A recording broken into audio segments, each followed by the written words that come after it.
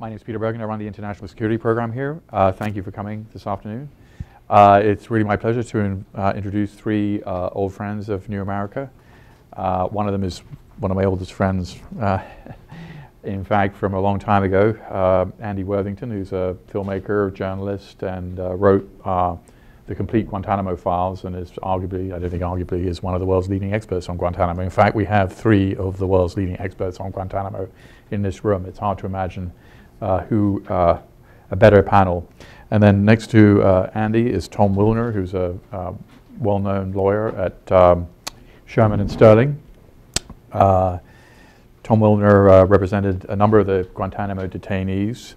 He argued two U.S. Supreme Court decisions uh, that established the right uh, to, detain, uh, to have, of habeas corpus for the detainees and also established their right to counsel, two probably the most significant legal decisions uh, of the last uh, decade and a half. And uh, finally, Colonel Mo Davis, who is a professor at Howard University, who was uh, who ran the commissions at Guantanamo for some period of time. He's a, a, a colonel with 25 years service. He's also obviously a lawyer. Um, and uh, I'm going to turn it over to these gentlemen. Uh, should we start with you, Andy? Or do you want to start with, how do you want to start? I think I'm, I think I'm leading off. You're leading off, okay. Yeah. Okay. okay.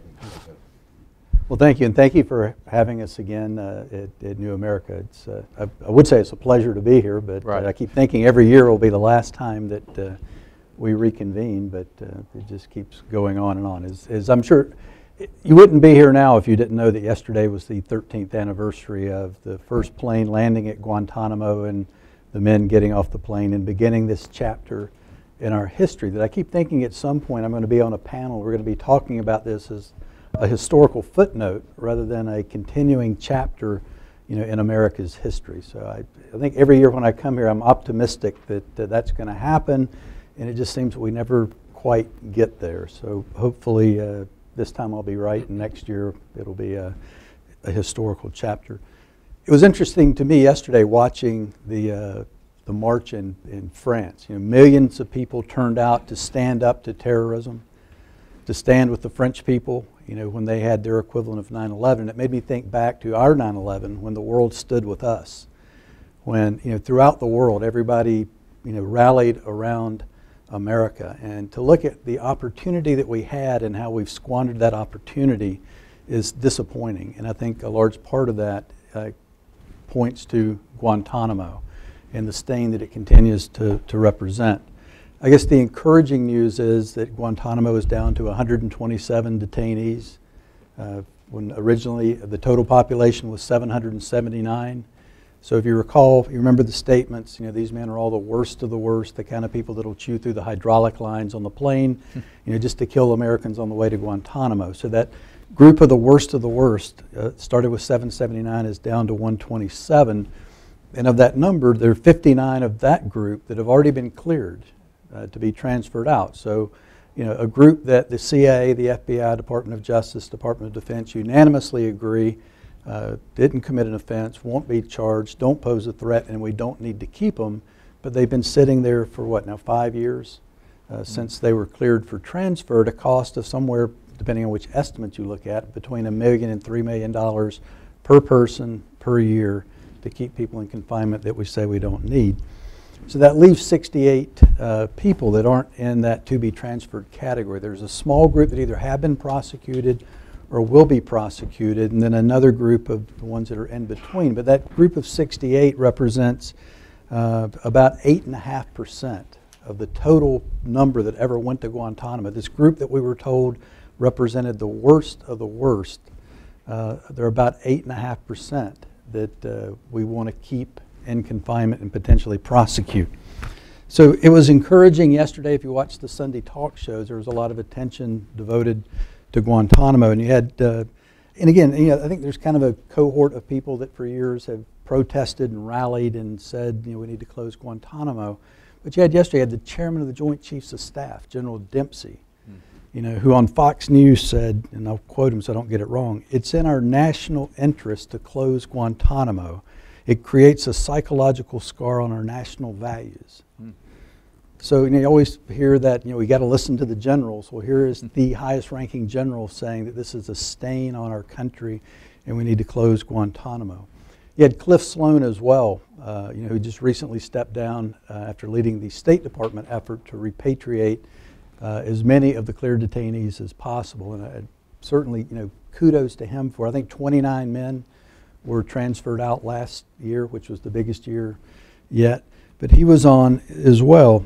And he said, you know, well over 90% of those who have been transferred uh, after going through this process not only are not confirmed of engaging in wrongdoing, they're not even suspected of engaging in wrongdoing. Because you always hear the argument about, you know, we were, we were talking about this earlier. It's frustrating to me when you hear people like yesterday on television saying, if you send these men out of Guantanamo, they're going to go back and, and, and re engage in terrorism. It's like, re engage? Where's the evidence they ever engaged to begin with? Because if there's evidence that they were ever engaged to begin with, we would prosecute them. So these are people that we had no evidence they ever engaged to begin with. Uh, according to their statistics, about what, 6.5% have re engaged in, in some form. Um, and he went on to say, he said, My own personal view is that holding men for 12 or 13 years without charges, many of whom have been approved for transfer for almost half of that time, is deeply inconsistent with the kind of country that we want to be.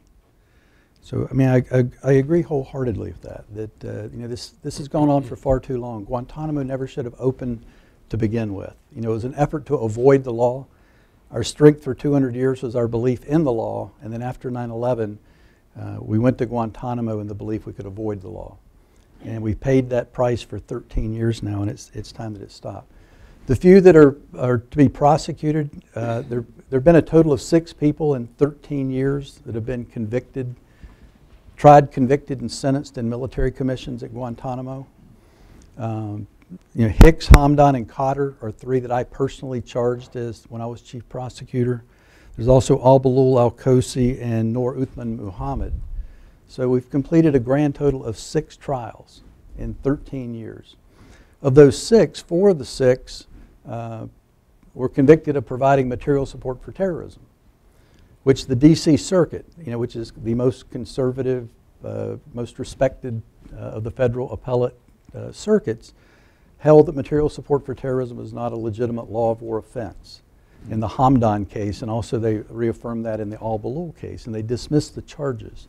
So the six people that have been tried, convicted, and sentenced, for the six uh, were tried and convicted and sentenced for an offense that we've now determined was not an offense. So in two of those cases, in Hamdan, and then on Friday, uh, in the case of, uh, of uh, Nur Uthman uh, Muhammad, uh, charges have been dismissed. David Hicks, uh, currently has a petition. You know, he pled guilty to providing material support. He has a petition to set aside his conviction. So this second-rate process that we created at Guantanamo that was supposed to be swift and severe and secret, uh, we've completed six trials and two-thirds of those were convicted of an offense is not an offense. So it hadn't exactly been, you know, a sterling success at, at, at Guantanamo. Um, I guess the one thing that's really significantly different than the last time we, we got together is in the interim, uh, we've had the torture report that's been made public. And it was, I'm certainly pleased that that uh, has, has taken place. I, I, think my only concern is I think many people look at that as an endpoint. That the objective was to get that report out into the public domain, but to me it's a starting point, not an ending point. The question is, what do we do now? Because you know, we led the effort to bring the world on board with the Convention Against Torture, which President Reagan presented to the Senate for ratification. And when he did, he sent a letter saying the core provisions of the convention establish a regime for international cooperation in the criminal prosecution of torturers relying on universal jurisdiction. Each state party is required to either prosecute torturers who are found in its territory or to extradite them to other countries for prosecution. So to me, it's a question of who do you side with? Do you side with Ronald Reagan or with Dick Cheney hmm. when it comes to torture? And I think Reagan had the right uh, view when he submitted this. And this is back in the day, and it was hard to recall in Washington a time when things were done on a bipartisan basis. But back in 1988, when President Reagan sent the Convention Against Torture to the Senate, it was approved overwhelmingly because we all believed in that notion that people that commit torture should be held accountable for their conduct. So to me, the question now is the reports out there, we've acknowledged, whether it's President Obama or John McCain, both sides of the aisle have acknowledged that we tortured some folks. And the question is, what do we do now? And doing nothing is not the right answer. Thank you, sir. Andy. Yeah, thanks, Peter. Well, hello, everybody. Uh, good to see you here. Um, Mo and Tom and I used to joke that we were coming here every every year. So last year we actually took a year off. Um, I think partly because we were tired, but also because there were signs of progress last year, and there hadn't been for the for several years before that. Um, I certainly feel more optimistic about um, about this long-standing stain on American justice being brought to an end than I have for many years. But um, uh, but I would say that that you know our happiness is only um, is dependent on on on seeing action. So every time somebody is released, we're then waiting for there to be further action because we've seen so often, for a variety of reasons, the whole process hitting a brick wall. Um, Mo gave you a, a, lot of figures there about about who's still at Guantanamo, and uh, you know it is it is very heartening that uh, 28 men have been released in the last year. That there are 127 men still held, and that 59 of those have been approved for transfer out of the prison. The majority of those were people who, who were approved for release by the uh, Guantanamo Review Task Force, a high-level interagency task force that President Obama established shortly after taking office in 2009. And as Mo said, it's five years at least since those men were told that the U.S. didn't want to hold them. Some were told during the, during the year in 2009, so it's up to six years. Uh, the, and, you know, 52 of these 59 men are, are from Yemen.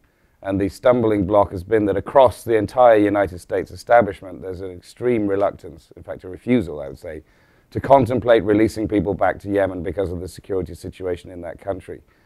Um, that may be, um, I think, when I examine that, that seems to me that although I understand the, the worries about the security si situation, it seems very extreme to me that um, that's a blanket ban on everybody from that country. But at least it's been addressed in recent months, and the administration has begun to find new homes for some of these men from Yemen who, uh, who they don't want to send home. But it's going to be an uphill struggle with 52 Yemenis approved for, for transferring Guantanamo to find other countries. I'm presuming that a lot of work is being done behind the scenes. We certainly hear some of that in the media, um, and, and I very much hope that those things are continuing. The seven other men, of a particular interest to me is that one of those men is Shaker Aamer, the last British resident in the prison. Um, and in the last few months, I've been involved in a campaign in the UK called We Stand With Shaker um, to try and get him released. Um, I won't talk too much about that because this is a campaign particularly focused not on the United States, but on David Cameron, our Prime Minister, trying to persuade him to say to President Obama that it's extremely important that this man, a legal British resident, is returned to the UK. What's interesting about his story is that this, this person, Shaker Aamer, who's a Saudi national, um, has indefinite leave to remain in the UK, has a British wife and four British children, is that he is one of, if not the most outspoken critic internally of the, uh, of the entire detention system, lawless detention system set up after 9-11. From the moment that he was seized in Afghanistan in 2000, late in 2001, where he says, and no one has provided credible evidence to the alternative, that he had gone on to pursue humanitarian aid. He has fought for the rights of the prisoners. He, from the beginning, said, You can't treat us like this. Where are our rights? He understood that they had been stripped of their rights entirely. And he has fought uh, against, um, against the unfair detention system, and he has been punished regularly for that. Um, so he knows personally about his own abuse, he knows about the torture and abuse of others. Um, but we, we presume in the UK that he's still held because both of the security services on both sides of the Atlantic uh, are saying that they'd rather keep him than have him released to, to tell stories that, frankly, are only going to embarrass both the governments. Both of our governments have proved very good at keeping accountability out of the courtrooms. So Shaker Aamer is one of these people. Um, as we were hearing, you know, if we're going to go ahead, and I hope that we're going to see, continue to see swift action on, on releasing the men that the US said it doesn't want to hold, we are left with this group of 68 men, um, about 10 of whom are, are facing or have faced trials, leaving 58 men who the task force um, said were too dangerous to release, um, but also said that um, the reason that there was not sufficient evidence to put them on trial. Now, you know, that, that should always be shocking, and I think it's shocking that as a result of that report, in, in the spring of 2011, President Obama issued an executive order specifically authorizing the detention of 48 men that the task force had said were too dangerous to release, but insufficient evidence existed to put them on trial. Because it enshrined this notion that, um, however it came about, it was justifiable to say, uh, we've got a kind of terrible evidence problem here, but, um, but you have to trust us. We have to, we have to break our rules and hold these people. And it was the moment that President Obama himself did this, rather than inheriting everything from President Bush, as he mostly did. And there is, frankly, no justification for, for trying to enshrine that notion. That's a very, very dangerous flight from the, the basis of detaining people um, reinforcing what had initially happened with the Bush administration. And, uh, and the problem with the so-called evidence is that when it's examined, it's discovered that a large amount of this information came from the prisoners themselves or from their fellow prisoners being interrogated and talking about each other. There were photo albums that were shown everywhere in the detention centers in the war on terror, including Guantanamo, of other prisoners, and people were persuaded in various means to say that they knew these people and that they knew stories about them. In some places that we know about, obviously people were tortured. They were subject to other forms of abuse. There were people who were bribed. They were given, they were given treats if they would tell stories, and there are prisoners who have spoken about that happening. Some of them haven't spoken about that because they were people who were pushed because they had mental health issues. There are other prisoners who simply while not being destructively broken by what happened to them, say that they simply gave up on the ability to resist. And at some point, they went into the interrogation room where they were taken every day and said, Okay, okay, what do you want? I'll tell you whatever you want to hear. And I know personally of some stories of people who, who everything they said was a pack of lies. But if you look at the files, you will see that these things are put down as though there is some degree of reliability to it. And the, and the problem is that once you start to analyze it in depth, very little in, the, in these files is reliable.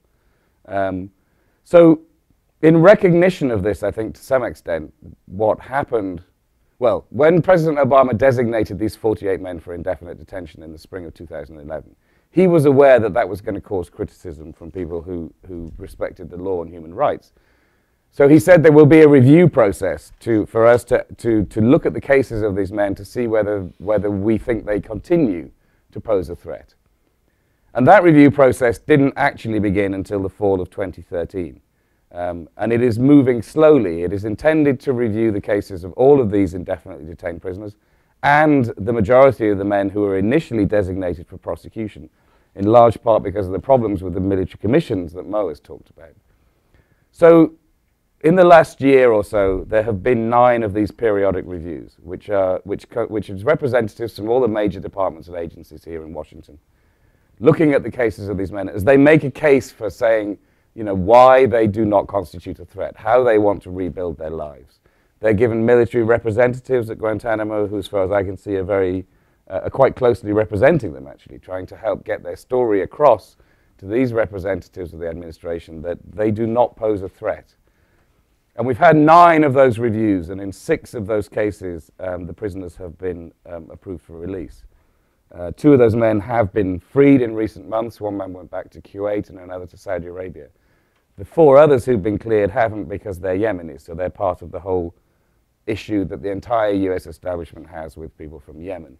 But this is progress, and if these, um, if these reviews continue, then I think, it's, I think we are very clearly going to see that a very high level review process is establishing that the, of these 68 men, it is, not, it is not appropriate to say that they are, they are all so dangerous that they must continue to be indefinitely detained or put on trial. It's a very slow process, I think, and I'd love to see it happen a lot quicker. Um, but I think, it's, I think it's the single most important thing that people who are concerned about the injustice of Guantanamo should support. I think it's important not to be swayed by the notions that, um, that, that you, can, you can accept the, the, the purported dangerousness of people when the evidentiary basis is so shallow, so tainted, so broken. Um, so that's where we're at. The, the thing that will happen if, if the prisoners approved for release are released, and we reach this point where we've got 68 men or less than that, is that I believe at that point the president will be able to uh, make the case more strongly than he has been able to to date to Congress that that it's ruinously expensive to continue Guantanamo, to make the case as he always has done about how fundamentally wrong Guantanamo is on every basis, and to move those men to the United States mainland. Now, there are many, many lawyers, many people involved in human rights are extremely concerned that this would then enshrine the Guantanamo system on the US mainland. Um, I have to say that it seems to me there is no evidence of, um, of, of, of uh, the right of the government in this country to hold people without charge or trial on the US mainland, and that that would be the subject swiftly of, of uh, robust legal challenges. Um, I don't think the intention would be sustainable um, if anybody wanted to back it of holding people without charge or trial on the US mainland.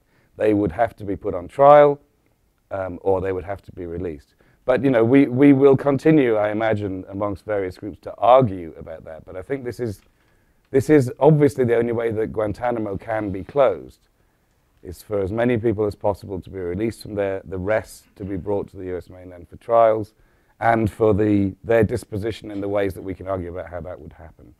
But um, this is how I see the progress, and as I say, this is, this is, I'm more optimistic about things than, than I have been for some years. And, and it remains an issue of great importance to me as a, as a human rights issue. But you know, Guantanamo is an international story. What the United States did after 9/11 um, resonated internationally. I'm here as a British person, not because you know because I want to take on what America did, but because these issues are so profoundly important. Because America was founded on, uh, on the basis of the rule of law, and Guantanamo is and always has been a legal, moral, and ethical abomination. And every day that it remains open, it ought to be a source of profound shame to anybody who respects the rule of law and justice and fairness. Um, so, you know, I hope that we don't have to keep doing this every year and that this will be the year that we really, really do see progress. And that those of us who care can do whatever we can to encourage the Obama administration to, to keep moving towards the president fulfilling that promise he made on his second day in office to close Guantanamo. Thank you. Thank you, Andy. Tom. Well, let me, let me say, I, I never know what I'm going to say until I hear Mo and Andy, and they're terrific. And then I wonder, well, what further can you say? Um, but I'd like to start off, I, would like to recognize Congressman Jim Moran, who joined us a few years ago up here, and who was one of the great congressmen uh, who supported closing Guantanamo from the beginning and fought for it. And I, I think in the last elections in Congress, uh, the great loss was not just that the Republicans won the Senate, but that uh, two great legislators, legislators, Jim Moran and Carl Levin, retired because they were the great supporters throughout. So we miss you. I hope we can get together otherwise and strategize. I, um, I wanted to say, you know, I want to be a little bit more reflective on some things. In the, uh, what happened in Paris and talking with people about it uh, has made me realize one of the problems we face in dealing with Guantanamo and torture. Um, I have a sense sometimes when I speak that I'm speaking within an echo chamber, that the people who listen are the people who agree already. And, uh, and we haven't reached beyond that to the great mass of the American public about these issues. We've got to do a better job about it. I'm shocked that um, I've seen polls that most Americans um, believe maybe the torture was okay, that maybe we need it. And, and I realized thinking about it after Paris and talking with some other people that there's a question people have that we haven't addressed, whether our Western democratic values can effectively deal with Islamic terrorism.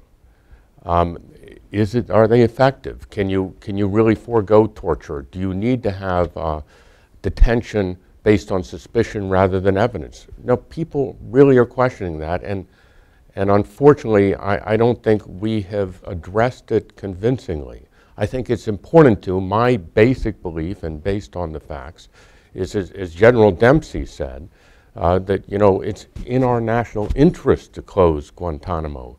That when the United States tortures, it, it condones torture throughout the world. It makes the world worse, but it hurts us.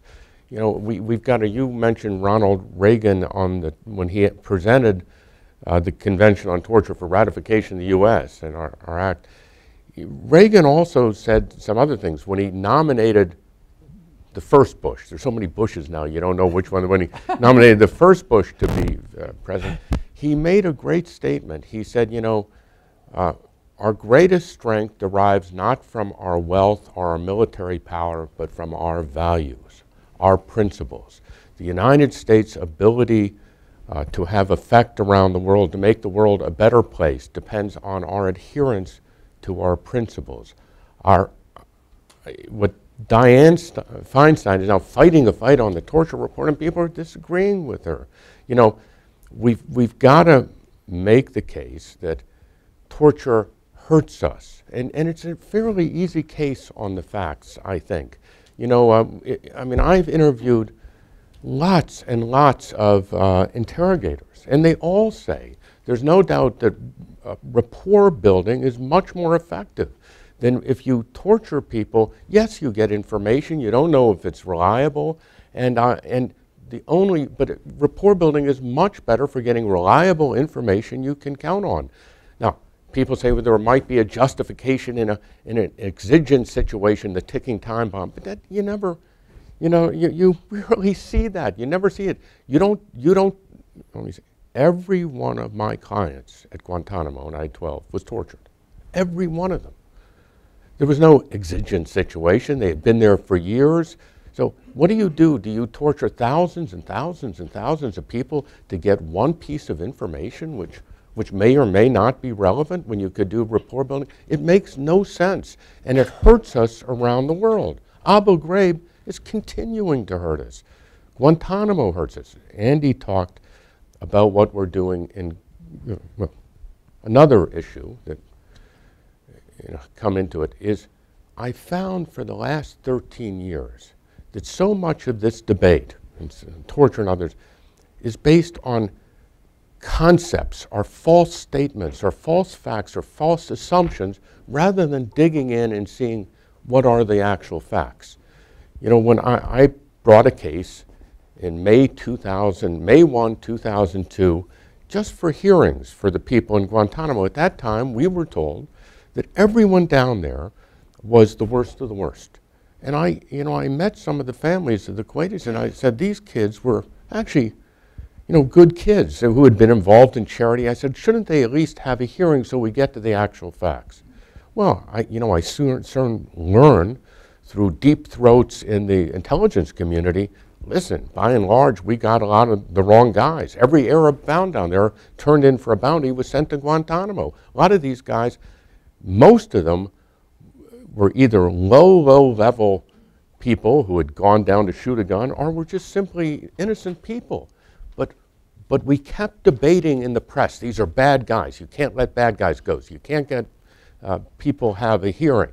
You know, today, we are, as Andy said, we're one of the basics for our law, coming back to the Magna Carta, which we got from you guys, by the way. Thank you very much. so you have a right to be here. 800th anniversary this year. 800th anniversary. But was the concept that you can't hold people arbitrarily that they have a right to go before an independent judicial authority to see whether there's a law they're supposed to violate it and there's evidence that will allow them to be held. What we're saying for people, for the 65 people who have not been cleared, who are still at Guantanamo, um, the government makes this statement that they're too dangerous to release, but the evidence against them can't be presented.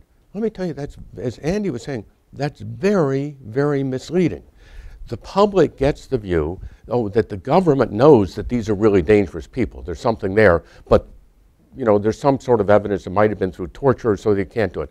That's not the case. It's a mis- mischaracterization of who those people are. I've looked at the evidence a lot of, of two of the people because I'm not allowed to see others.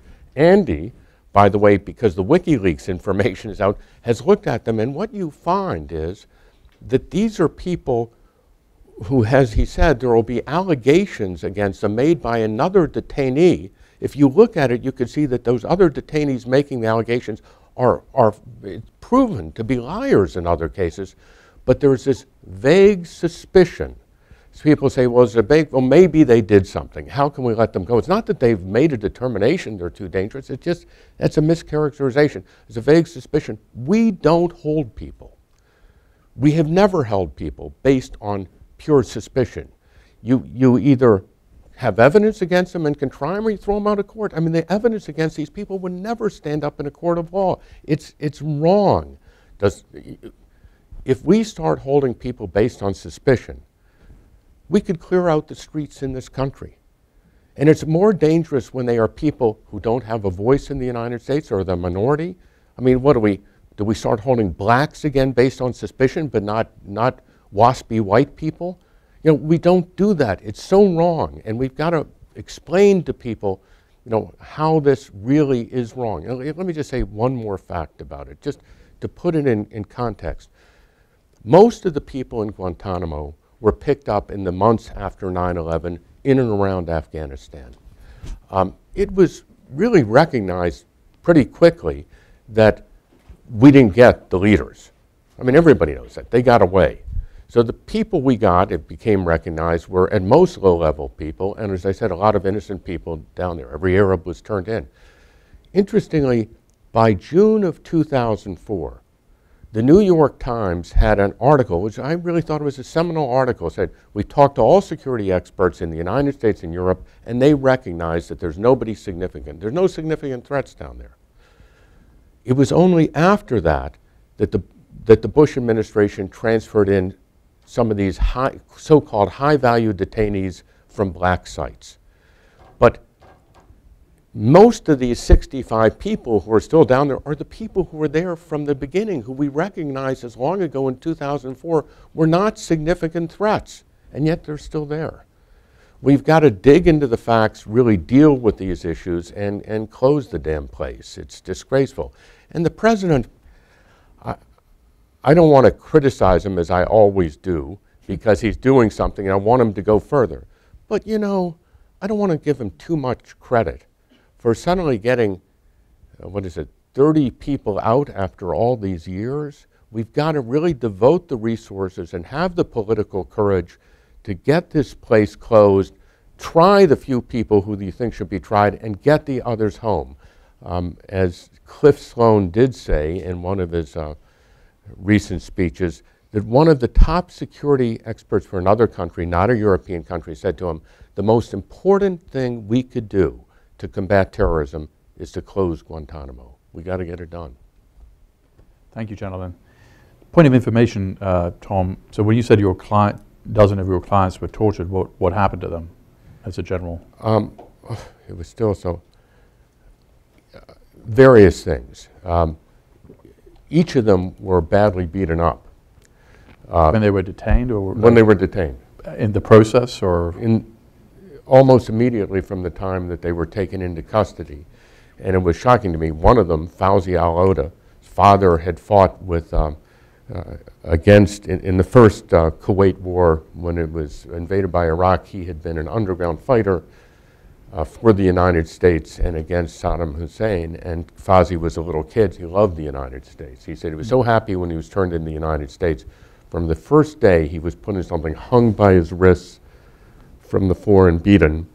Uh, he said he just couldn't believe it. Each of them told stories like that. Others were prodded with electrodes. Some were sort of sexually molested. Was this in Afghanistan? In Pakistan? I mean, on in the way out? in Afghanistan, in Afghanistan and Pakistan, some more abuse in Guantanamo, in Guantanamo, not as severe physical abuse. Uh, you work at Shearman and Sterling, which is a well-known white shoe law firm, right? Yes. Uh, what is the attitude of your partners about the work you do? well, um, I, I ran into considerable difficulty when I took on this work originally. Shearman and Sterling is not only like it's a financial firm. Uh, in uh, many friends in Wall Street, many who were killed in 9/11. Yeah. So there was some uh, I had some problems taking this on. Is that dissipated? Yes, it's dissipated. I, I think that uh, initially it was a tremendous problem because Guan- there was focus on Guantanamo. Yeah. Now, frankly, in the national press, there's so little focus of it, it doesn't present them with promise. Now, let, let me say there were some people, and I, you know, I've always said this. Interestingly, people my age were very supportive hmm. because they grew up in a time when we had to fight for causes we considered important. I think the younger people had got into the capitalist financial stage when making money is the purpose of law. And when I grew up, you know, I think all of us thought of lawyers not only as, in, as law, not only a way to make money, but a way that you're the guardians of a rule of law which allowed commerce and allowed free speech and everything else. So. Colonel Davis, so you were the chief prosecutor. Wh- wh- Which years were you chief prosecutor? From September 2005 to October 2007. What are your, um, I mean, have you had any, I mean, obviously you're a huge critic and, uh, of the, of Guantanamo. What of your former colleagues, do they understand uh, the positions you've taken or are they, were they unhappy about it or? I think it's a mixed bag. I think I'd, I'd say a majority are very supportive, Yeah, and some that aren't. I, mean, I think there's some that kind of look at you know these, you know, that drank the Kool-Aid and bought the argument these guys are the worst of the worst, and any rights they get are, you know, through charity and grace and not through you know the rule of law. But I think that's been the exception and not the rule. I mean, I've had a lot of support from the intelligence community, from the military community. I mean, if you look at the people that fought against ever opening Guantanamo, ever starting the military commissions, ever using torture, it was the uniformed services. And then they were excluded from the conversation. You had the political appointees, the John Yoos and the David Addingtons, and you know that made the decisions and you know put us on this path. my impression is, uh, I haven't read the entire CIA report, but my impression that one of the takeaways from the report is that the, there was an early discussion of having the Bureau of Prisons be involved, which would have obviated this whole thing. Is that correct? Yes. Um, you know, you mentioned Paris, Tom. Uh, French magistrates, my impression is, can hold you for two or even three years without charge on a suspicion of terrorism, right? And then what's and how long can you be held in the UK? Is it 14 or 28 or? I'm not sure where they ended up Where with that, end- but it was somewhere, you know, yeah. it was So, but- expanding the number of So in weeks. France, a magistrate can throw you in jail for two or three years. I mean, not 13 years, but I mean, it, we're not alone in this. I mean, I, I think there are other countries that, Western countries, which have a Yeah, but interestingly, even in a country like Israel, which faces the constant threat of, of terrorism, you need to be brought before a judge within 10 days, and there needs to be evidence presented. Right. So, you know, it, would, it took us to win really more than, the, you know, two and a half years, three years to win the Rasul case before they could even get any sort of hearing. And Right. then after that, it was another four years after So that. in France, at least you're going to see a magistrate, even though he, or- he or she might throw you in jail. You're still going to have some kind of due process, a, a review. a review. Can I just Yeah. interject one thing? You know, th- after the detainees won the right to habeas and the cases went before the federal courts, the government's argument has always been that under the law of war, we have the right to detain the enemy for the duration of the conflict. And the courts have accepted that argument. Well, the conflict that the government cited is the war in Afghanistan, which the president officially ended a couple of days ago. December 31st. Right, so either the basis, the legal justification that we've used for the last 13 years to justify detention under the law of war doesn't exist anymore. So we either have to create a new legal fiction. We have tied ourselves in a huge pretzel on this one, right? I mean, because it's either, they're either prisoners of war, in which case they should be released as of now, or they're common criminals, in which case they shouldn't have gone into what it was a prisoner of war detention camp. Right, so we're, we're again, we're setting a precedent, you know, in our conduct, you know, from this point forward on setting a legal basis, a legal justification to detain people outside the law of war and outside the criminal justice process. Now, the Yemenis. Um, I mean, which countries in your estimation, because I mean, I think there is a reasonable argument to say, hey, you know, Yemen, it's unstable, people have escaped from prisons multiple times. Um, in fact, the leadership of Al Qaeda in the Arabian Peninsula, I think, were some of them came out of a Yemeni prison. So, uh, other countries like Uruguay, or which countries could they go to? Other countries, presumably, you know, the negotiations going on. Do you have a sense, Andy? Well, I mean, first of all, I'd like to say that, it, that when you've had a high-level review process, which has established that people aren't a sufficient threat to carry oh, on So, holding, yeah, they're not even going to prison. but you then don't send them home because you're saying that that there's another. It's like there's another airlock. It's like you can never get out of the prison because. I think they should be sending people home on the basis that you know that there's that I can understand they they're going to have worries if there appears to be you know um, terrorist sympathies that are very obvious in their family background, for example. But I think the blanket ban, to me, seems completely unacceptable. But I mean, as a political matter, it might be easier to release them to Uruguay and then eventually they get back to you. I mean, is there, a- what, what is the way to go? Well, uh, you know, I think you may be right, Peter, in the sense that you know that people will be released to countries, and that when the dust settles in a few years, maybe arrangements will be made for people to move. I don't know which countries they are. I mean, clearly, you know, maybe Cliff Sloan uh, retired because he had so many air miles. Well, he's been he's been everywhere talking to everybody. Which, which are the countries And, that have um, been accepting the prisoners of late? Well, I mean, we had Kazakhstan was the, the last country, so uh, you know, I don't know whether that means that there are other places in Central Asia. I think Central and South America, you know, there are there are places that are looking interesting. Estonia is apparently taking. Ah.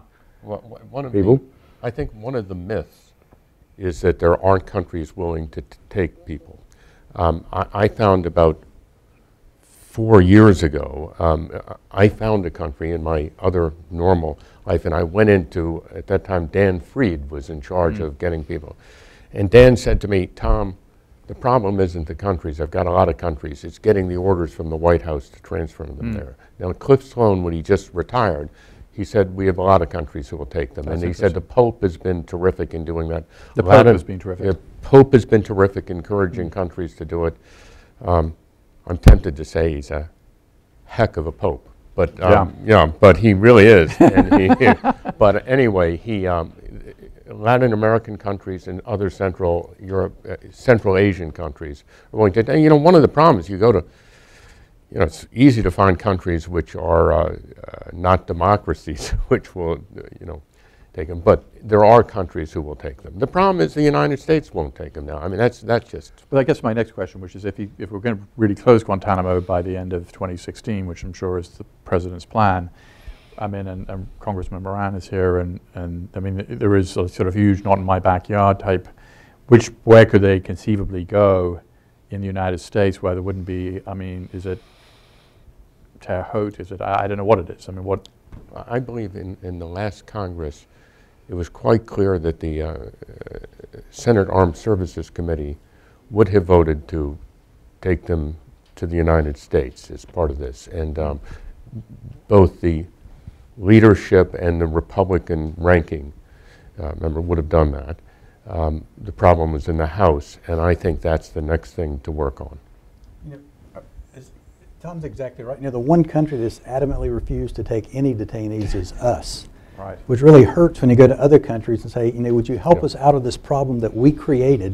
You know, we're not going to help ourselves. We'd like for you to help us. But, you know, Bermuda took four, Palau took six. You'd think, you know, we're the home of the brave, and we can't be as brave as Bermuda.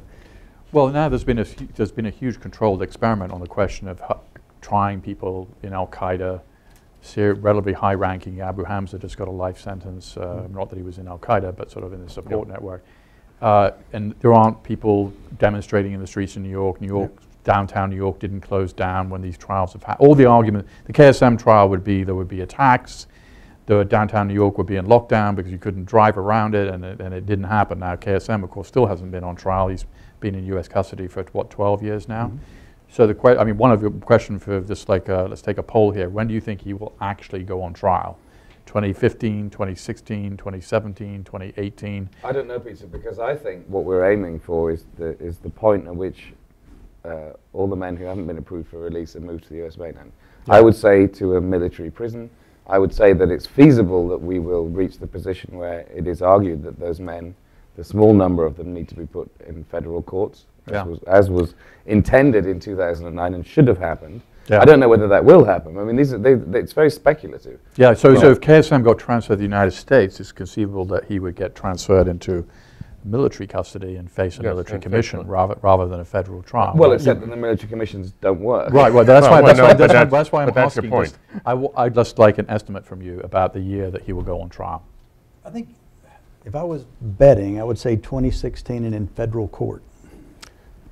Well, y- y- y- To, to make your point, though, Peter, when KSM was withdrawn from the criminal justice system and they said they're going to try him by uh, military commission, all the lawyers I know who were defending these guys who were going to be charged were praying it wouldn't be in federal court and they could have it in a military commission because they could bollocks up the system forever, and they knew that. I mean, they, there was, it was, so, so Lindsey Graham was saying, we need to try these people before military commissions, that's the way to do it. With the assumption this was a quick and easy way, all the defense lawyers said, this is just what we want, and that's what's Yeah. happened. Yeah, When I was chief prosecutor is when President, you know, President Bush had to make a decision on what to do with the black sites and the people that were being detained there. And there was a debate whether to go the DOJ Bureau of Prisons route or the military, Guantanamo Military Commissions route. And the president made the decision to go the military commission route. So in September of 2006 is when the plane landed at Guantanamo. And we didn't know how many people would be getting off the plane that day, but there were 14. Since then, that was September of 2006. Since then, there's been one person that's been tried, convicted, and sentenced, and the case is over and done. Who is that? Ahmed Ghailani. And where was that? That was in New York in federal court. All right. So he's the only one. The other 13 men that got off the airplane that day with him are still floundering in the system at Guantanamo. You've had, in addition, you mentioned Abu Hamza. Abu Hamza, it was 21 months ago that he was extradited from the UK to the US. And in 21 months, he's been prosecuted, convicted, and sentenced. You had Abu Ghaith, Yeah. you know, pretty high, Laden's- pretty high you know, Laden's son in visibility law. case. Uh, Abu Khatala, federal court. So our federal courts work extraordinarily well. Our prison system, uh, you know, we've had no, you know, all these guys have been successfully held, prosecuted, and the world keeps turning, but we keep spinning our wheels at Guantanamo in this process that over and over and over has failed. Okay, can I just uh, Yeah. intrude on one more point? that- So um, Eric Holder said, I want to try KSM in the federal courts in New York. And there was opposition, and the president backed down, and it's gotten into this mess. Know, we should say, uh, Greg Craig, when he, the very beginning, when he was counsel of the president, recognized one of the big things is what Mo said. How can you ask other countries to take these detainees if you won't take them yourselves? Greg Craig had a plan to move some of the Uyghurs who were, you know, uh, who the Bush administration said were captured by mistake from Guantanamo, to move one to a, a community in northern Virginia. Yeah. And uh, where there was a Uyghur community, guy was absolutely innocent. Was it Frank Wolf? Frank Wolf, uh, uh, who, who I am not sorry retired, um, stood up and said, "You cannot do this. This is a terrible thing." And Obama backed down, rather than saying, "What are you talking about? Here's an innocent man who the people have, you know, Hmm. the Bush administration has cleared. You know, of course, we who we have held unfairly. The backing down from both those decisions has continued Guantanamo." Open it up to anybody in the audience who has a question. If you could uh, just uh, mention your name, wait for the mic, uh, which is going to come to you right now. So take you the first question. This gentleman here with the glasses. My name is Mike Sponder. I was, uh, I'm from the outside, so they made me Director of Innovations at the Office of Naval Research. Forget about goodness and mercy. I'm, I'm talking to the choir, who I agree with. Assume, for the sake of argument, that every single one of these people went back. And I wish there was somebody on the other side. Instead of 15,970 AQAP or Al Qaeda or ISIS or everything, there'll be 15,000 and then 160. I'm not, forget about whether they're innocent or not. What's the difference if these people go back and they start off, especially if you go to Yemen? In Yemen, they keep getting killed. I'm not, and you're talking, you- the choir, I listen to the choir, except for the fact is, who cares if they go back? Okay. Bluntly, uh, now, if there were 68 people going back and there was nobody else out there, okay, I can understand that. But there's dozens of thousands of people fighting. Can anybody on the other side, by the way, not here, explain why? Just let them go. Well, le- le- let me say that I, I, I agree with you, except if you really have a Khalid Sheikh Mohammed, you don't want to, you want to try him. I mean, aside, and, and that's, that's, but you're right. Aside from guys who really could be leaders in bad, you create more people by keeping them here as, a- I- so I agree. And, but they're not, but a lot of them are innocent. But go on, Mo, Andy. Well, you know, there's a, there's been a lot of exaggeration and hysteria about this that has been stoked repeatedly throughout the, the media, throughout the establishment. Um, I think there have been, I think there is evidence that the number of people who have been released from Guantanamo who have engaged in anything that could be described as terrorism is very small, but it's much, much smaller than the figures that are, that are regularly bandied about. Um, the latest, you know, the media tends to put together both the people that the establishment says are, are confirmed and suspected of re-engagement or engagement. Um, that, that, that you shouldn't put the two together. The suspected ones are, uh, you know, let's put those aside. Don't start saying those are official figures. You've got a 16% figure. I think that I think Peter and the research that's done here has, has said it's more like six.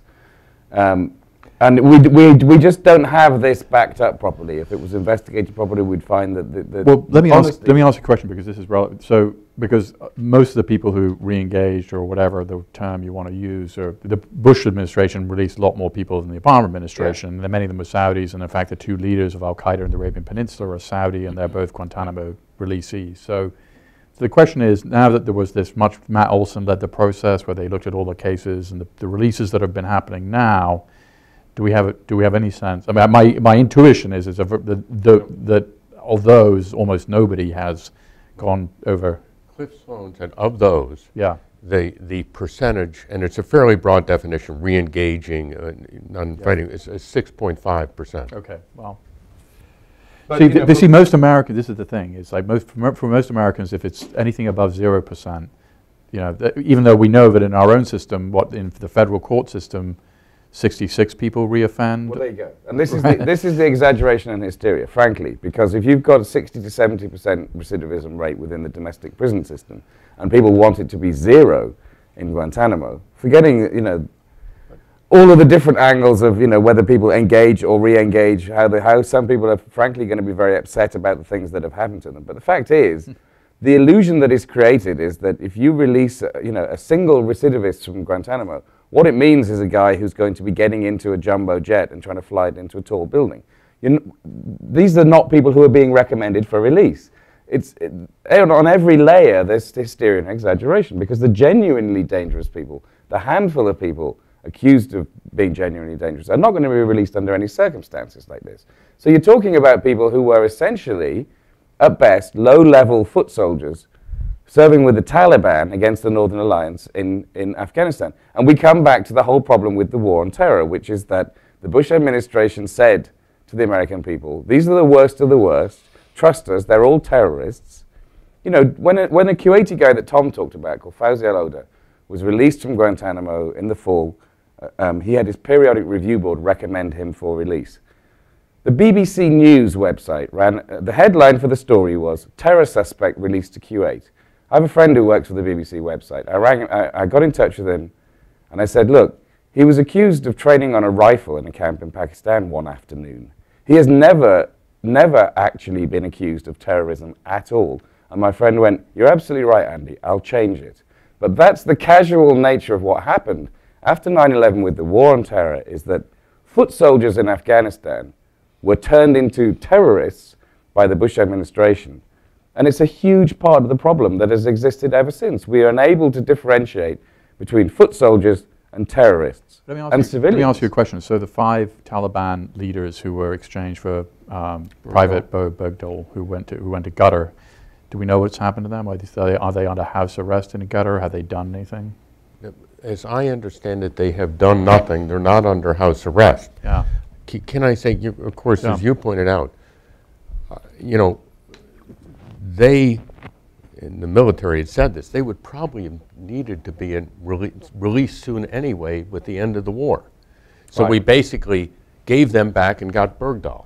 Yeah. And and my, my understanding, though, is that they are not accused of having done anything since. We haven't heard anything about them, so I'm presuming My that understanding of them, these are the guys who are, you know, they were cabinet ministers. I mean, they were. yeah, well, they're also, you know, they're in their 50s or even perhaps Yeah. in their 60s. I think they're Nothing happy- the matter I think that. they're happily retired. in Qatar. uh, you know, and, en- and enjoying swanning around in, you know, in, in Qatar and, and not being back in Afghanistan. In, But uh, I was know, on Chris Matthews' show the day that the transfer was announced, and he ripped me a new one for, you know, how could President Obama send these, you know, bloodthirsty, you know, guys back out to, you know, kill more Americans. And I'm like, more Americans? Right. You know, where's the evidence they ever did anything?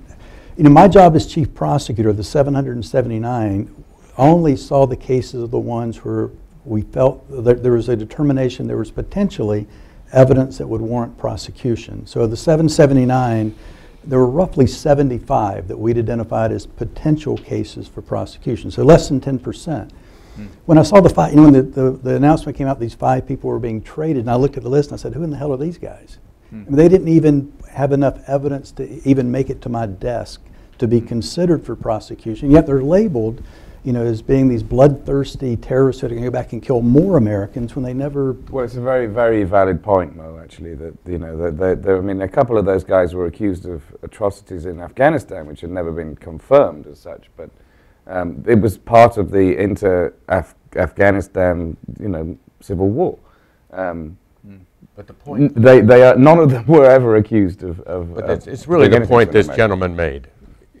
You know, unless you get a very bad guy, Okay, so we're going to, Assume that they go back, no, no, no, that's your point, except for a guy like Khalid Sheikh Mohammed, that is your point.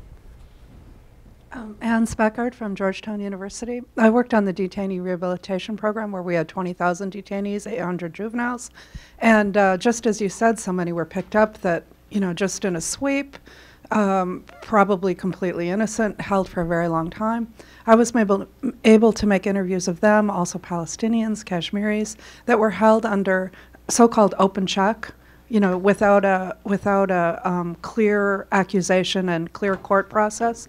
And I would just like to confirm a lot of what you're saying. I mean, this in itself is psychological torture to be held in a prison cell having no idea what your future is. Right. so- so, right, Alan, just to explain, so you were, you went to Guantanamo, you, I let me- I didn't quite get I what you didn't work in Guantanamo. I worked in 2006 putting together the detainee rehabilitation program in Iraq for our 20,000 detainees, 800 juveniles. So it was an Islamic challenge and psychological program. And a lot of our detainees, um, in, in Iraq at least, were beaten badly when they were arrested. Uh, some of them had so-called soft torture in the prison, the high-value ones. Um, less were tortured except for Abu Ghraib. And, um, but what I found in talking with these people is okay, that was awful, but the ones that had been in Iraqi hands were very happy to come into our hands because we don't torture the same. But you know, being put in a prison cell and having no idea of your future is torture in itself. And that's something that we don't think about. You know, anybody should go lock themselves in the closet for 20 minutes, see how they feel about it. And imagine, what is it, 13 years? Can, can I mention that, and I, and I normally make that point, that we concentrate on physical torture. Hmm. It's a much worse torture to be, to be kept someplace without cause and without having a hearing forever. There was one of our guys, uh, this, uh, not Fauzi al-Oda, but Fayez al-Khandari is still there, who said to me, I said, did they, you know, did they torture you? Did you describe these things? And he said to me, you know, that's over. I can take that. What I can't take is sitting here without reason forever without a chance to get out. And I can confirm for you that I've talked to people that have gotten out, uh, Palestinians, for example, and they told me they have PTSD. I'm a psychologist, I can diagnose it. They have PTSD. They're having flashbacks. They're so afraid. Could I get picked up again? Could this happen to me again? I mean, it's going to be with them for their entire lives of being put in a small cell. And also, people told me, I will die before I'll get imprisoned again. You know, I'll do anything mm. before I'll get imprisoned again. So we have to keep in mind this is an effect. It's it's it is torture in itself. This lady behind Uh, uh, that's, um, I mean, uh, if I could just say yeah. something. that- I mean, when I was talking, I didn't, I didn't, you know, go into the torture report. And one of the things that has concerned me about the torture report, apart from the, you know, clear lack of accountability, which, which I think we, is, is necessary for us to pursue, is that it was dealing with the CIA program, and that it was possible for people not to recognize that actually the whole post 9/11 response, the whole war on terror, um, has torture built into it at all kinds of levels.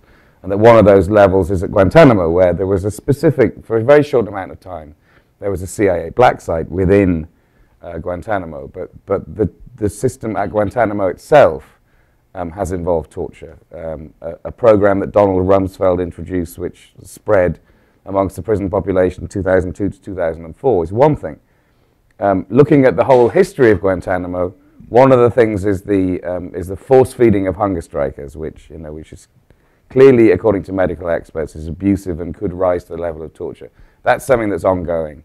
Um, I saw the latest account from Shaker Aamer in Guantanamo, who was saying that a Pakistani guy who's still held, who has been on a hunger strike for a long time, weighs 92 pounds. And you know, we don't see the pictures of these people because it would shock us to the core to see people who look like concentration camp survivors.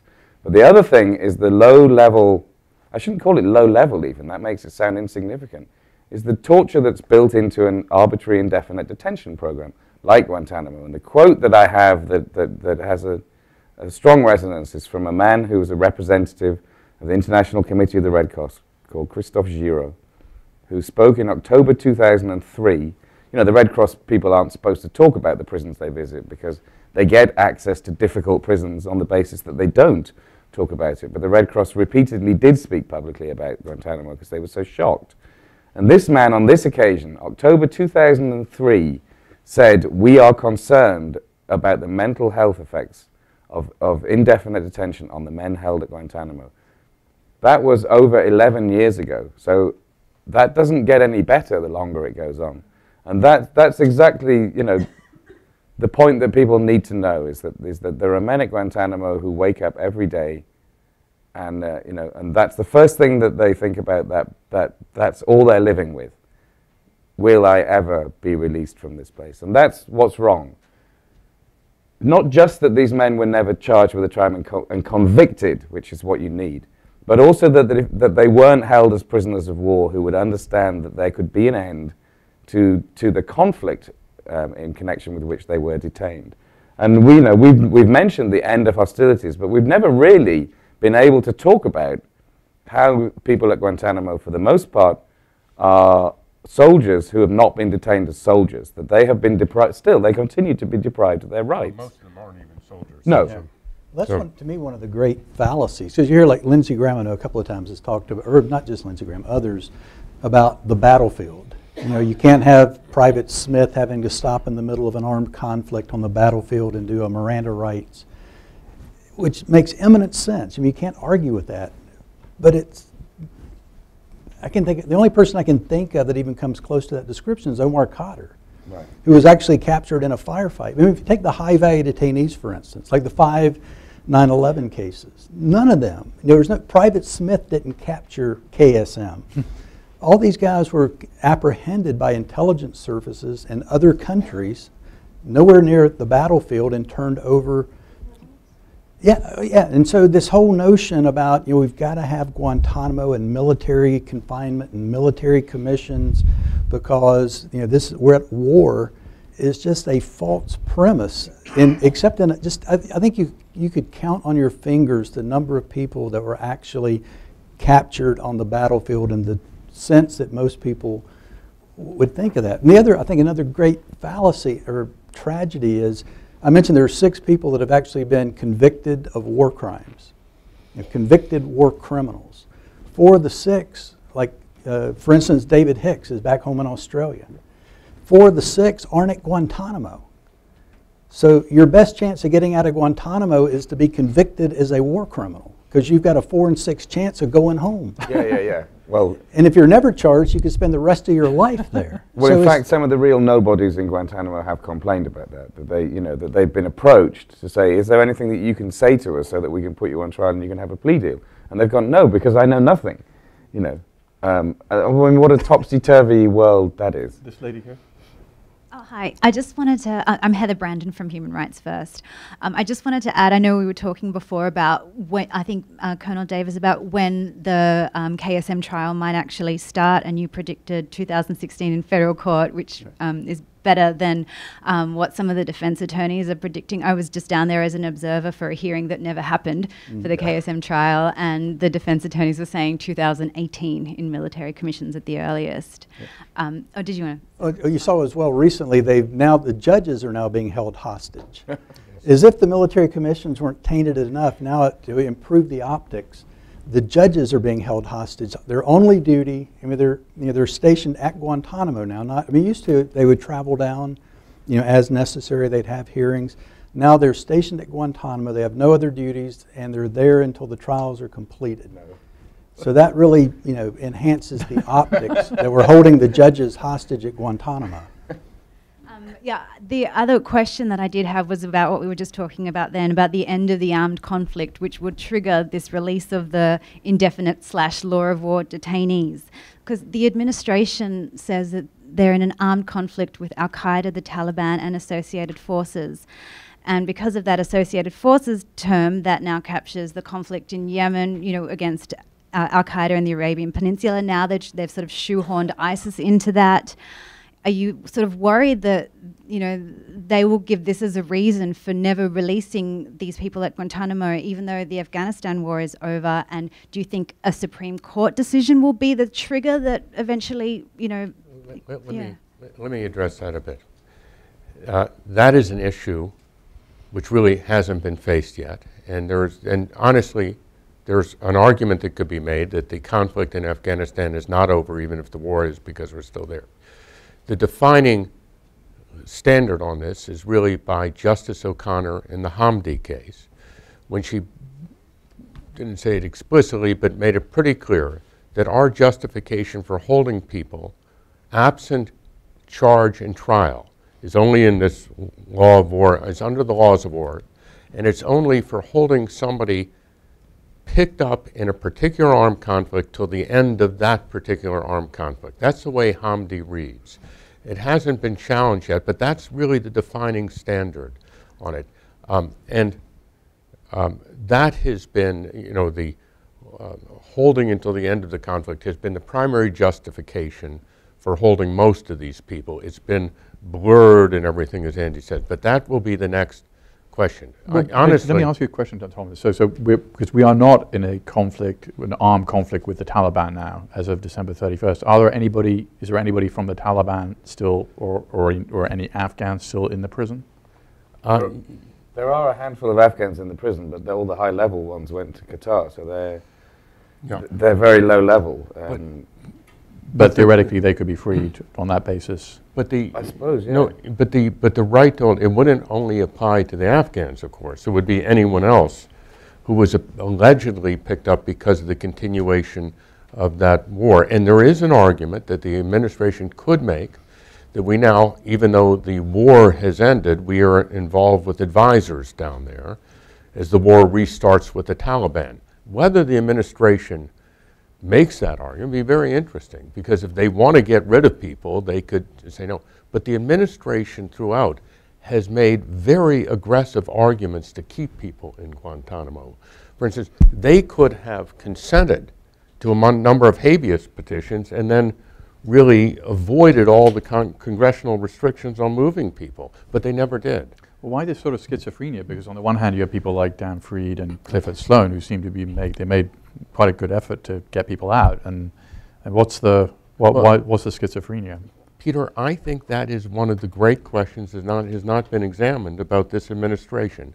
While President Obama makes great statements, I want to close Guantanamo, I want to do it, in fact, he has the authority to close it right away by transferring people out, and he hasn't done it. Now, he's waited for an, a midterm election. He's something. The Justice Department, under his and Eric Holder's watch, has been very aggressive about making arguments to keep people there. Let me just give you an example. After we won, so that these people have the right to habeas corpus, um, the D.C. Circuit, which you called it one of the most respected, it's certainly one of the most conservative um, courts, took the view that if the government presented any evidence, it would be accepted as true in a habeas hearing. It's very unusual. It's not. It's contrary to English habeas because you, so any evidence presented by the government was accepted as true, even if it was a hearsay allegation from somebody else. As a result, it stopped people from getting out. That was a, a position that the Justice Department advocated, very aggressive uh, position. Why do they do that if they Is want there to a close? particular the- part of the Justice Department that was, I mean, is it the National Security Division, or who, what, who's, when you say the It's a Justice Department? division within the criminal division that's handled the Guantanamo cases, and Yeah. they've taken very aggressive litigation position. It hasn't been seamless from Bush examined. Obama, yeah. Yeah, well, I mean, are they the same people essentially? I mean, are Yeah, they? a lot of them are the same people, yeah. Yeah. Same people as before? Well, Yeah. meaning across administrations, I mean. Yeah. Well, except, except, yes, but you have That- new appointments in, in charge of them. Right. And I, you know, um, I- I- they could have really simply consented to certain habeas petitions, Have and they all- would be Have you all been in- interviewed by Tim Golden, who was a fellow here, who's doing this big book on Guantanamo? Do you, do you know when that's coming? I think it's, Yeah. I haven't. yeah. Um, He can talk to me. In the uh, back.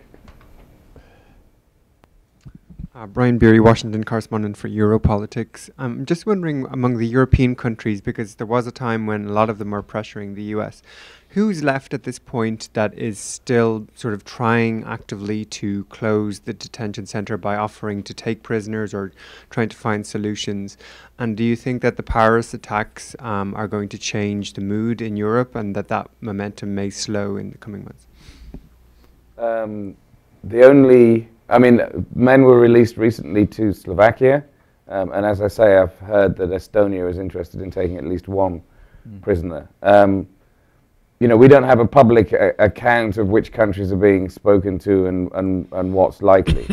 um, a lot of European countries that were willing already did take in um, prisoners in the early years before Congress imposed restrictions. Maybe there are others uh, um, on the horizon for the Paris thing, I would very much hope that people don't make the kind of um, connections that are that are unacceptable. Um, because if you make connections between what happened in Paris and men approved for release from Guantanamo, the only basis on which you can do that is that both people that we're talking about are Muslims, um, and there is you know there is no line that can be drawn between terrorists attacking people in Paris and people held in Guantanamo approved for release, except that they're all Muslims. So, you know, I would very much hope that, that that's not the case. I'm glad to say that I haven't seen any, I haven't seen much of that happening in, in general over, over the years. As, Let me um, ask as you a factual question discussed. about this Congress. So the restrictions that Congress have put on, it, it, it's about the, f- it's, it, it relate to the funding for people who might be transferred. They won't pay for flights. Well, so they so won't pay for, for funding for the Defense Department. I it's, Jim Moran can explain it better, but it, it's, there is no funding if you do these things. But where so so but people are being transferred. So the governments like the uh, They're- the they're Slovakian government is paying for the transfer. Or No, no, no, no, no, excuse me. They are being fund, those transfers which comply with the regulations, they, the government pays for the transfers. So, and this has been so for, for years. Carl Levin put something in the bill. There- There was something restricting transfers to the United States. That really hasn't been changed. Then there was a, restriction on transfers to other countries unless the Secretary of Defense would personally certify that the person transferred would never do anything bad.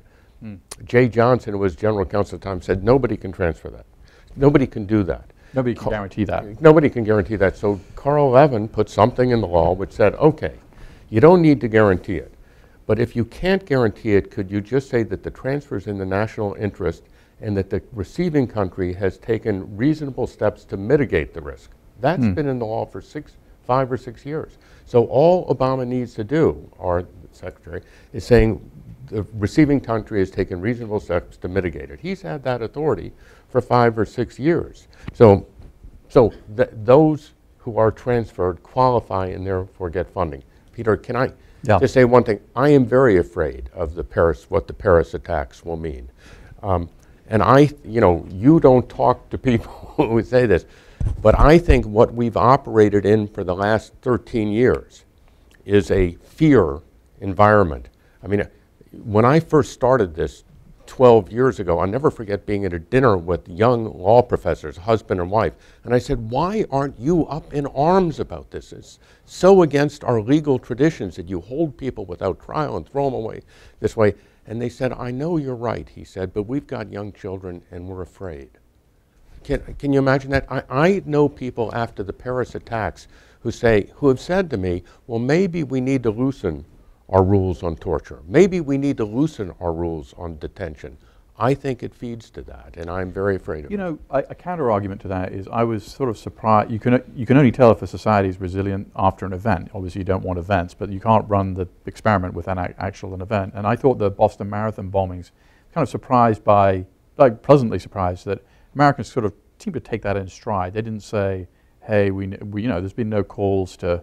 Send, no one said, "Hey, we should send Jahar Tsarnaev to Gitmo." As far as I can tell, he's going to be a. It it seemed. I mean, I don't know if, if you felt the same way. It seemed like a somewhat mature response. These were two kind of no-hopers. I think there hopers. was. But So- I think it's unfortunate though, because like you know, Tom mentioned, if you look at the, the like when Bush was in office, a majority of Americans were opposed to torture, and that line is skewed the other way now, to where a majority of Americans say that torture. Can I throw out an idea about this issue? Uh, two Yeah, ideas. please. I mean, first of all, I think people watch too many movies, and I think that is kind of explains a lot of what happened. Um, and I'm serious about that. I And agree. And secondly, if you look at the people who made these decisions, they had they had two things in common. None of them were federal prosecutors, or defense attorneys, or F- or FBI agents, and no- none of them had any experience in any of this.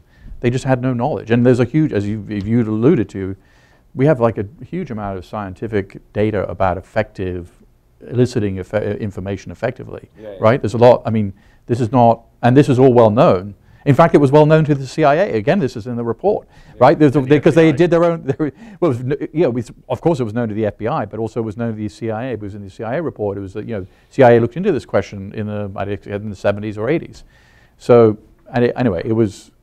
It seemed to be based on sort of uh, a very childish kind of understanding of. But why is it gained acceptance? Is, is I think we- most, that's Well, I most- think we've got, because I, I, I know I've got Yeah. a daughter who's 25, and most of my students are about 25. And I, Yeah. if you think about it, their whole adult life has been post 9/11. They don't remember 9/10. They remember Right. 9/11 forward. Where I, mean, I, was, I mentioned the other day when I was traveling, I got pulled aside, and, and it used to, if you got felt up at the airport, that was called sexual assault, not pre-boarding. but it's, it's I think line. you've used that line before. Yeah. Yeah, yeah, yeah, But it's become the new normal. You know, it's become the normal that we Well, expect. that's a very interesting question, which is about how, you know, one thing that you never hear in the budget discussions in Washington is sort of, you know, we have this huge counterterrorism apparatus. I mean, the intelligence budget tripled since 9/11. You don't hear any discussion of sort of, it's almost impossible. I mean, as a political matter, you're not going to hear Hillary Clinton or Jeb Bush say, hey, we've really managed this terrorism problem, which is true. I mean, 25 Americans have died in jihadi terrorist attacks since 9/11. Eh, you know, if you're using even a generous,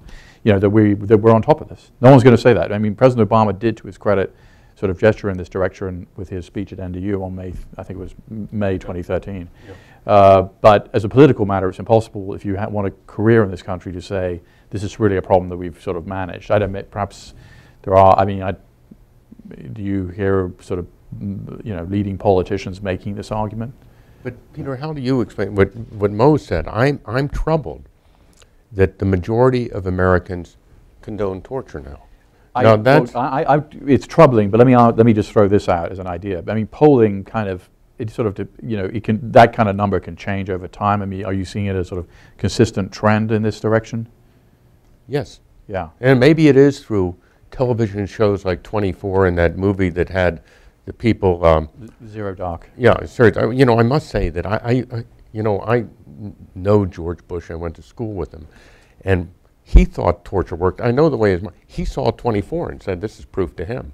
Yeah. you know, it has that sort of, uh, I don't think it's just, I mean, if you look at like, like gun control, you know, the numbers there have flip flop. I think the country as a whole is just bought into this fear, state of fear, that we got to protect ourselves in any means necessary and just keep us safe. Well, I mean, psychologists. I mean, Anne is a you're a psychiatrist or a psychologist? Or psycho. I mean, so well, I mean, there's a huge amount of sort of scientific evidence about this. I mean, uh, you know, our, our sort of reptilian brain is very kind of you know kind of takes over in, in moments of uh, kind of national crisis. And Well, which is why, you know, Article 2.2 of the UN Convention Against Torture says, you know, there are no circumstances in which Right. your reptilian brain is allowed to take over. it is an absolute prohibition. I mean, the, the, the problem with what's happened, I think, is that, you know, it is essentially that no one has been held accountable. Um, so although people can say they, they, uh, they object to the use of torture, the case hasn't properly been made. About its ineffectiveness, I mean, this is the perfect time. The, the, uh, the executive summary of the torture report really show, lays bare the, um, the, the cruel pointlessness of it all. Cruel that, it was, yeah. that it was so wrong on every level. and unefficacious. Um, but also because people who, who, who initiated it that nobody has actually been held accountable. It Well, really does me- help me- to, me to just one- suggest to people we go to Anne, okay. one quick question. I mean, the court of public opinion is a pretty powerful one. As just as I mean, court of law is obviously even more powerful. I mean, the report getting published and naming names. I think, I think it, it was That's helpful. important. Yeah, it yeah, was, yeah, definitely. Uh, and you know, Feinstein's going to introduce this bill, basically making this sort Good of. for her. Yeah, yeah.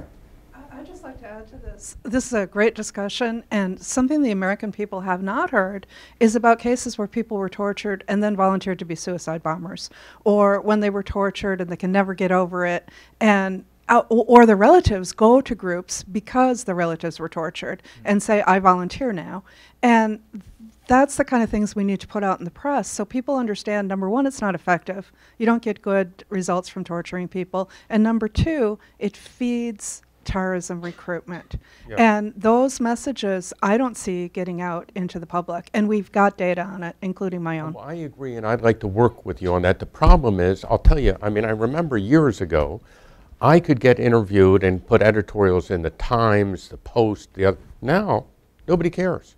About You- Guantanamo. Yeah, or, or these things. Even, you know, they'll, they'll, they'll interview Dianne Feinstein and then somebody on the other side saying she hasn't done it. But people won't go to the substance of stories. I mean, even if we try, I'm a little disappointed by the media and these things because these are important facts to get out. So, Hi, my name is Scott Cooper. I'm uh, at Human Rights First as well. I- I'd like to take you to task um, on, because we, I think, in this room are all in agreement. Um, how do we then convince those that want to close Guantanamo that, you know, we have the chairman of the Joint Chiefs that says uh, it should be closed, it's in our national interest. Almost any military officer you talk to, and as a former military officer myself, you know, I, I spent a lot of time on this. So, how do we convince, for instance, and, and, and I think it's probably true to say the Republican side, the Mitch McConnells, the Senator Ayottes, the, um, the Lindsey Grahams, that this makes a great deal of sense. Not the 59 cleared for release, because that's all within our power, as well as speeding up the PRB process. Absolutely within our power. But again, changing the court of public opinion, um, I, I scratch my head about it every day. So I, I'd love to hear what ideas you have along those lines. I think, I think the administration has just done a terrible job of letting the public be misled. Because I think the public has bought into the worst of the worst and just kind of out of sight and out of mind. I would, like with Lindsey Graham, and he brings up the, you know, captured on the battlefield and Sergeant Smith can't do Miranda rights and that kind, which is just a false, I mean, it's, it's a true statement, but totally irrelevant to Guantanamo. So I think what would be helpful if you actually had like a substantive discussion. I mean, I've asked this on the other side. I mean, I can tick off all the, you know, the expense, the damage to our reputation, the effectiveness of federal courts, all the reasons why there is no, you know, Guantanamo makes no sense whatsoever. What are the points, other than just political talking points that the president's so, you know, weak on terrorism? Put that aside. What are the concrete points that say, that support Guantanamo? And I don't, I'm not aware of any. I haven't heard anyone give one valid point for why Guantanamo makes sense. And I think that's where you could sway the public, is if, if they had an honest discussion and not just the political talking points. You need to have the forum. You need to get it out. The only person writing about Guantanamo today is Andy Worthington. I'm serious. You know, the public has put it aside. Mm. It's 130 Muslim men at a time of thinking people we Carol care. Rosenberg at the Miami Herald. She does. Yeah. She does. But we have an issue.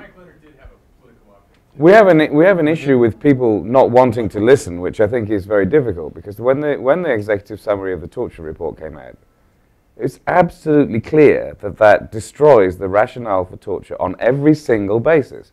What happened? A whole bunch of people sprang up, just ignoring it, ignoring it, saying torture worked when the when you know the executive summary explicitly says no, it didn't. On every level, what was done didn't work. Uh, so it's it, you know how we actually deal with those issues. I think is very difficult. I'd love to see President Obama make statements as eloquently about the about about the wrongness of torture as he has about Guantanamo.